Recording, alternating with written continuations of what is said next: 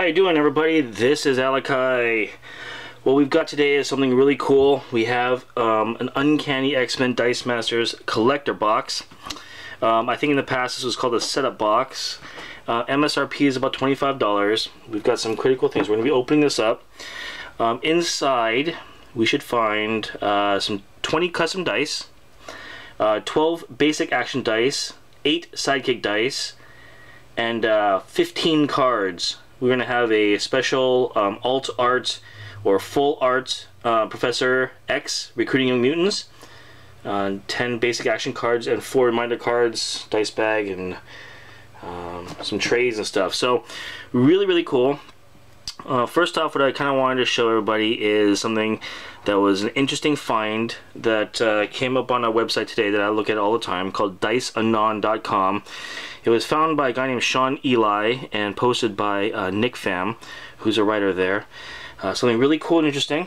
if you look right here where it says collector's box, right about there, we have some unusual dice icon looks like right there.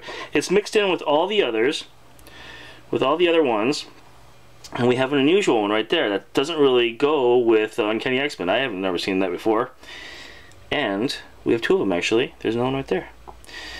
This one is, if you look at that website, he's got it posted uh, as a possible Sue Storm.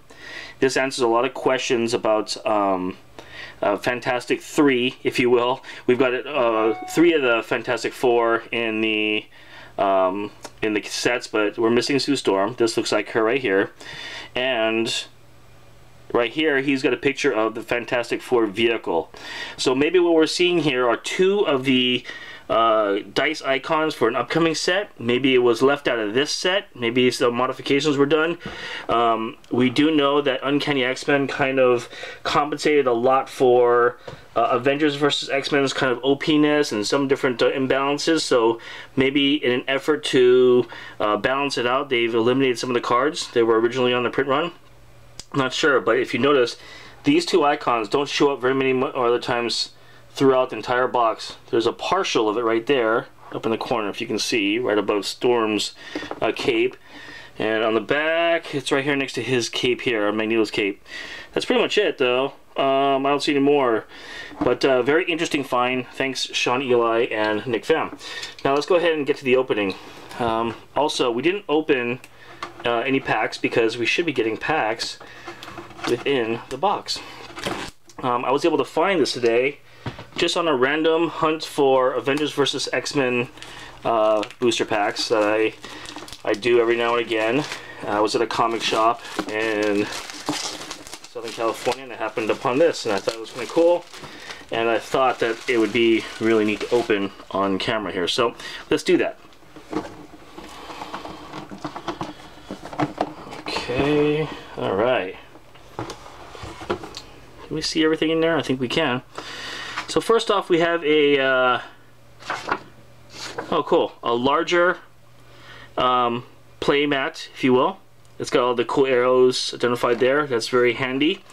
And here we've got a checklist, uh, another checklist of all the cards around Candy. So these you can check it off and you can see kind of what numbers are where.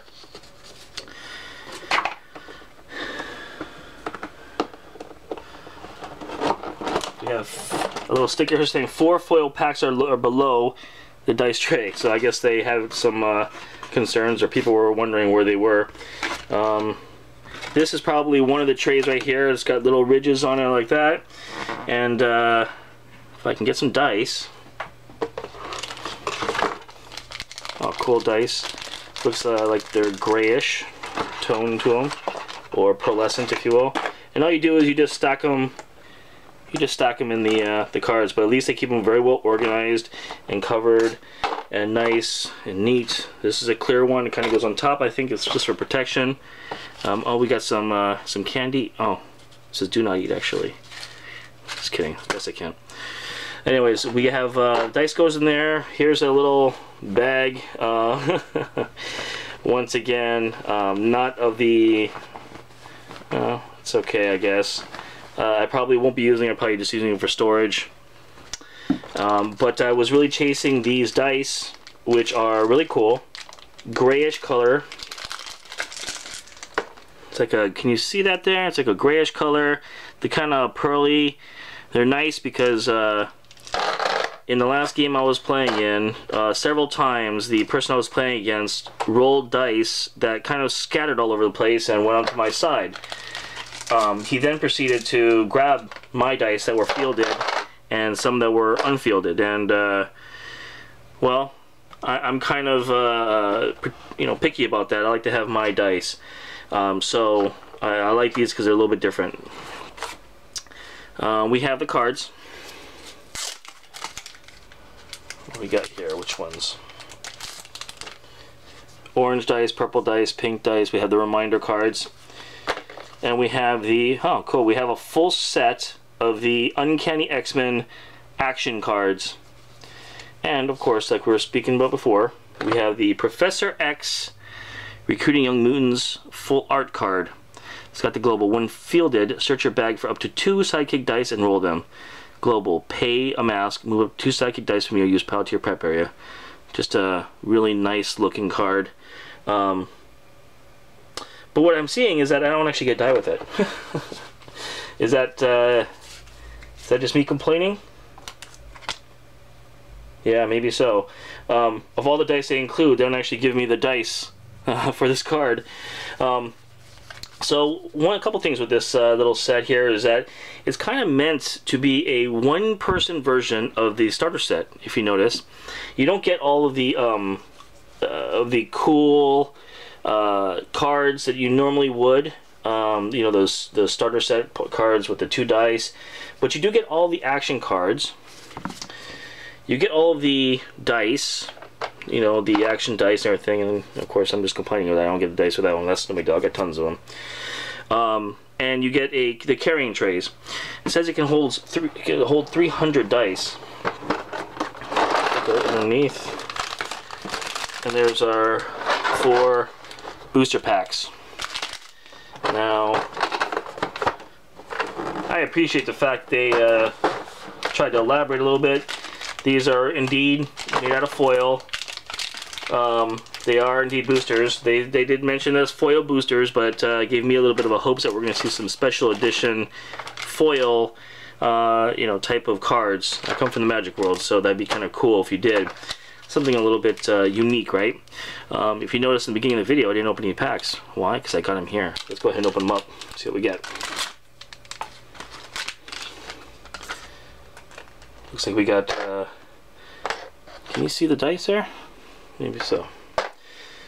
Namor and Iron Man? What? Super rare! Fatality!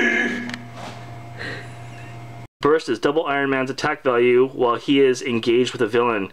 And Global's a pay a shield target character gains the villain affiliation. That's a super rare, alright. My four packs, I got a super rare, that's great. Namor, the Submariner, 5 and a shield for X-Men affiliation.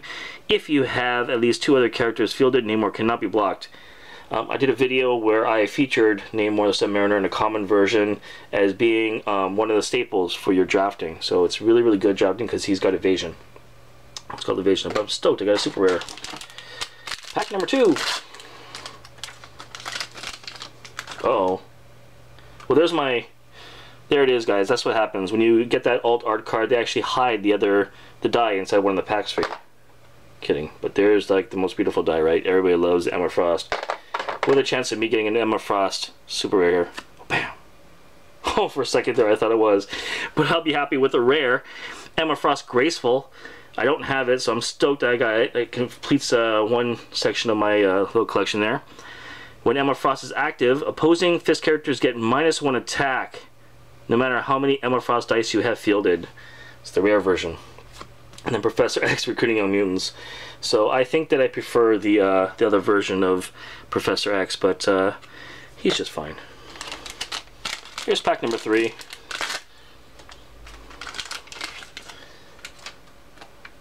Oh, we got a nice little diverse profile here. We got Mr. Sinister and Mr. Sinister Arch Villain. While Mr. Sinister is active, if your opponent has no villains in the field, each of your characters gain plus two defense. And the next one is uh, um, Magik, right? Magik, Illyana Rasputina. When Magik is knocked out, re-roll her die. If you roll a character face, return Magik to the field. It's gambling, but it's awesome. She's a great card, especially in, in draft as well. And let's check out our fourth pack.